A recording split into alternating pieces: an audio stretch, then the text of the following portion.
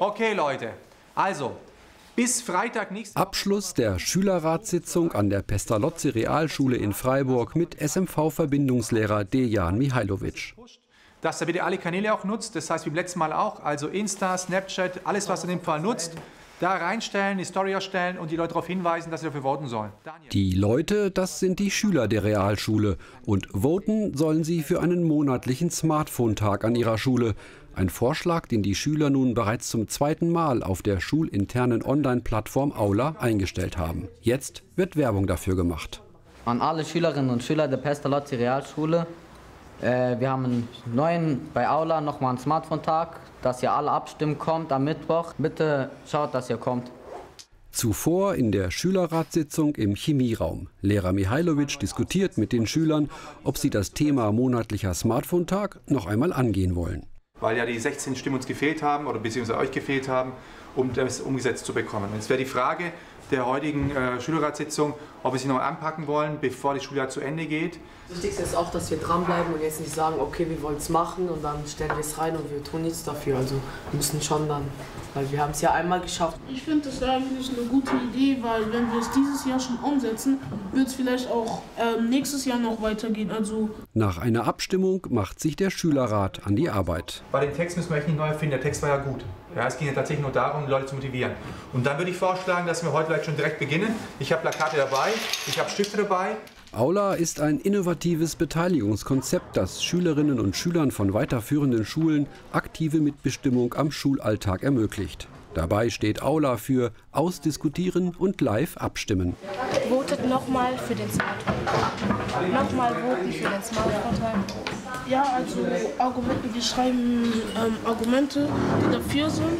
Die Pestalozzi Realschule ist eine von vier Pilotschulen in Deutschland, die seit Ende 2016 an Aula teilnimmt und gleichzeitig die einzige Schule, in der alle Schülerinnen und Schüler am Projekt beteiligt sind. Es ist ein langes, anstrengendes Projekt. Es zeigt einfach, wie Partizipation, ähm, wie mühselig es ist, so einen Prozess in Gang zu setzen, aufrechtzuerhalten und auch zu pflegen.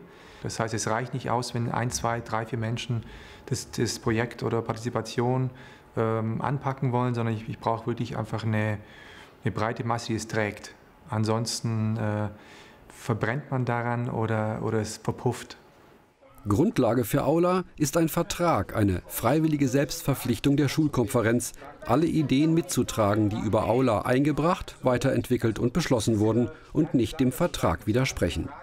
Der Verein Politik Digital hat Aula entwickelt, unterstützt von der Bundeszentrale für politische Bildung. Aula möchte mediale Bildung mit politischer Bildung verbinden und eine Grundlage schaffen für mündige politische Beteiligung in einer digitalisierten Welt. Ich glaube, dass das Demokratische und das Digitale heutzutage Hand in Hand geht. Und wir haben mit, der, mit den digitalen Möglichkeiten der demokratischen Beteiligung, die wir vor 20 Jahren noch überhaupt nicht hatten. Äh, andererseits brauchen wir aber auch die Demokratisierung, um die Digitalisierung der Schulen voranzutreiben. Denn da wissen die Schülerinnen oft mehr als ihre Lehrerinnen. Und das ist eine Ressource, die wir nutzen müssen. So haben die Schüler über Aula einen ersten Smartphone-Tag durchgesetzt. Einen Tag, an dem in der ganzen Schule mit Smartphone und PC gearbeitet wurde. In allen Klassen und in allen Fächern. Ich finde es total wichtig, diese Smartphones wurden ja auch erfunden, damit sie uns helfen im Alltag. Also finde ich auch, sollten sie uns in der Schule was nützen. Ich denke, dass viele Schüler Bücher langweilig finden und auch mehr Interesse haben, mit einem Handy zu lernen als mit einem Buch. So richtig mit der Hand, also zu schreiben und alles finde ich auch gut, aber wenn man mit den Smartphones arbeitet, ist es auch etwas abwechslungsreicher. Wer gute und umsetzbare Vorschläge ausarbeitet und Mehrheiten organisiert, kann über Aula Dinge verändern.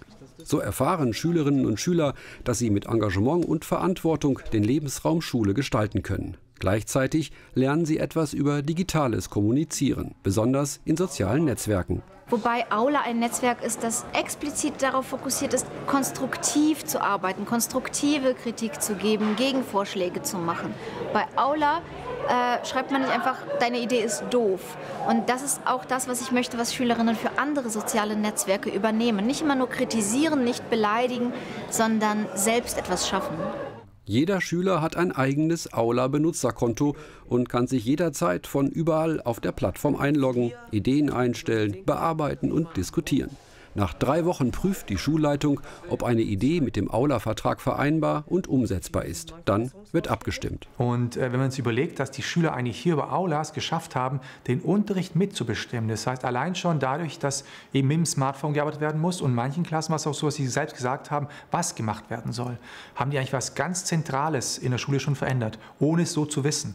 Ziel ist es, dass es pro Klasse jede Woche eine Aula-Stunde gibt, in der am Thema Mitbestimmung gearbeitet wird, für die eigene Klasse oder übergreifend für die ganze Schule. In der Aula-Stunde mit der 9. Klasse geht es Dejan Mihailovic heute darum, dass die Schüler Ideen entwickeln für eine bessere Schule. Hast du wirklich überlegt, wie müsste eigentlich Schule sich ändern, dass wir es irgendwie besser haben, oder, Dinge, die fehlen oder Dinge, die gemacht werden müssen, aus welchen Gründen auch immer. In Gruppenarbeit machen sich die Schüler der 9. Klasse Gedanken. Ihr Auftrag, wirklich einmal ganz groß zu denken. Es soll nicht nur um ein gemütliches Sofa gehen oder um neue Farbe für ihren Klassenraum. Es kommt eine gute Fee, ja, und sagt, bing, ihr seid die Schulleitung. Ihr könnt jetzt bestimmen, was ihr wollt. Was würdet ihr ändern? Was würdest du als Schulleiter so ändern, dass du das Gefühl hast, so muss meine Schule aussehen, wenn ich Schulleiter wäre? Aula habe ich kennengelernt als ein Instrument der politischen Meinungsbildung und Entscheidungsfindung, was bei der Schülerschaft auf unterschiedliche Meinungen trifft. Manche sind begeistert davon oder sehr engagiert, weil sie es wirklich erkennen als eine Möglichkeit, auf die Gestaltung von Schule und Schulalltag Einfluss zu nehmen. Andere wiederum sehen das irgendwie als eine Art von, naja, etwas, uns wird etwas geboten, wir gehen darauf ein, aber wir bekommen nichts zurück. Ich finde es nur schade, dass es halt nicht so viele, dass es halt nicht die ganze Schule so wirklich richtig nutzt, weil sie verstehen irgendwie nicht so richtig, was sie da eigentlich für eine Macht in der Hand haben und es ist wirklich auch gut, dass man so selber die Schule gestalten kann, weil das macht auch dann mehr Spaß, zur Schule zu kommen. Also in meiner alten Schule gab es sowas zum Beispiel nicht, dass die Schüler mitentscheiden durften. Und das finde ich also hier sehr toll, weil wir leben in einer Demokratie und die Schüler und die Lehrer dürfen halt mitbestimmen. Die Pestalozzi Realschule hat etwa 360 Schüler. Für 80 Prozent ist Deutsch nicht die Muttersprache. Der Schule ist es wichtig, dass durch soziales Lernen die Eigenverantwortung und die Persönlichkeiten der Schüler gestärkt werden und dass alle Beteiligten Schule mitgestalten, zum Beispiel durch Aula. Also der größte Erfolg ist für mich tatsächlich schon der, dass, dass Partizipation bei uns jetzt über eine Hintertür massiver in der Schule vorhanden ist und gedacht wird als vorher. Also auch vor Lehrkräften die vorher nicht drüber nachgedacht haben, die denken jetzt einfach anders. Also an ganz vielen Stellen, wo ich früher hätte sagen müssen, aber wollen wir nicht die Schüler fragen, muss ich das gar nicht mehr sagen. Vielleicht, dass die Schüler einmal im Monat entscheiden dürfen, was gemacht wird. Mitspracherecht der Schüler beim Stundenplan, mehr Sportunterricht, ein Auszeitraum für die Schüler, späterer Schulbeginn. Am Ende der Aula-Stunde sind viele gute Ideen für eine bessere Schule zusammengekommen. Eine Schülerin schlägt vor, Noten einfach ganz abzuschaffen. Weil ich nicht wollen würde, dass Schüler nach ihrer Intelligenz benotet werden. Weil jeder ist gleich und jeder hat seine eigene Persönlichkeit. Wenn du irgendwann deine Schule gründen solltest, dann ruf mich an, ich komme zu dir in die Schule. Ich finde, man sollte in Fremdsprachefächern auch in den Land hinreißen, wo man lernt, weil man lernt eine Sprache am besten mit Praxis und nicht mit Theorie. Schließlich formulieren die Schüler einige ihrer Ideen aus, um sie als konkreten Vorschlag später auf der Aula-Plattform einzustellen. Ich finde es erstmal gut, dass es so eine Plattform ist, weil es trauen sich ja nicht alle Schüler vor der ganzen Klasse oder vor mehreren Schülern zu stehen und ihre Idee zu sagen, weil manche haben ja Angst davor, ausgelacht zu werden oder sonst was. Toll an unserem Projekt ist, dass die Schüler mitentscheiden dürfen, was sie machen wollen und was für The äh, Themen die haben. Und es ist halt einfach gut, dass die Schüler auch gehört werden. Ich sehe da tatsächlich auch Chancen, nicht vielleicht alle Punkte, aber gewisse Ansätze davon umzusetzen. Und wenn das schon gelingen sollte, das ist ja schon mal ein guter Ansatz, dass Schüler einfach merken, ich habe eine Idee und wenn, ich, wenn die Idee gut formuliert ist und äh, ich dann auch weiß, welche, äh, wie ich Mehrheiten generieren kann, dass die Idee dann auch umsetzen kann. Mehrheiten generieren. In der zweiten großen Pause sind der Schülerrat und Dejan Mihailovic unterwegs und hängen die Werbeplakate für ihre Idee auf, damit es beim zweiten Anlauf endlich klappt mit dem monatlichen Smartphone-Tag an der Pestalozzi Realschule. Für Dejan Mihailovic aber geht es dabei um viel mehr. Für mich geht es um eine Haltung.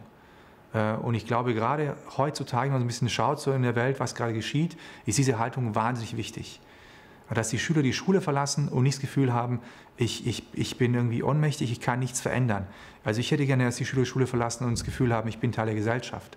Und äh, ja, Entscheidungen zu erringen äh, oder irgendwelche Ideen umzusetzen, kostet viel Zeit und viel Kraft und Kompromissfähigkeit äh, und ist viel komplexer, als man es vorher vorgestellt hat. Aber ja, ich kann auch was verändern.